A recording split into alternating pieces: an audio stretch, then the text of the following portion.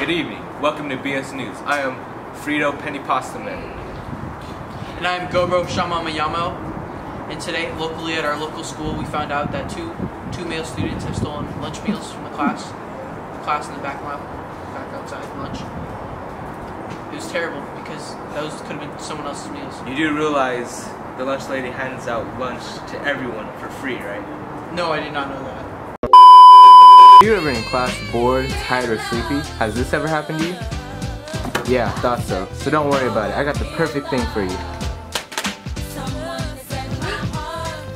Whisk Max Fresh. So fresh, it wakes you up. Colgate, recommended by dentists. Alright, well now let's go back to Jerome Bergalamo Witakama. How's the weather looking today? Good afternoon, everybody. It's Jerome Bergalama with the comma here. Today's a perfect day to go to the beach, ladies and gentlemen. It's 110 degrees, and make sure to wear your sunscreen.